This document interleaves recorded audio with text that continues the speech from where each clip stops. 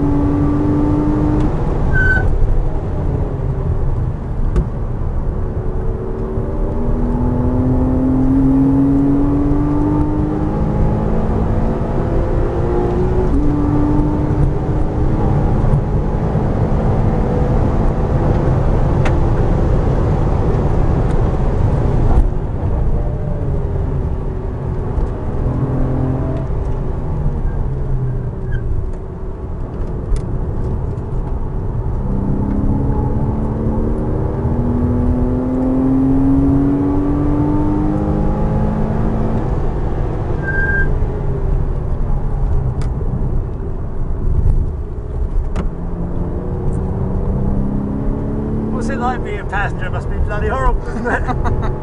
It's okay, I'm used to it. You're a ride. Yeah, You wouldn't want to do it for a long time. I don't know how rally drivers mates do it.